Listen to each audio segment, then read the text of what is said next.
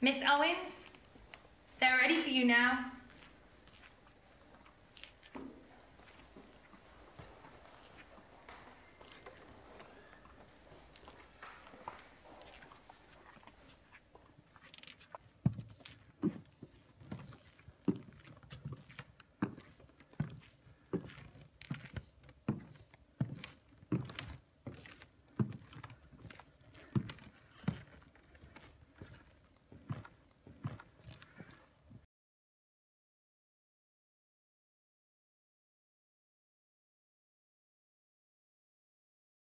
Miss Owens, you have three minutes.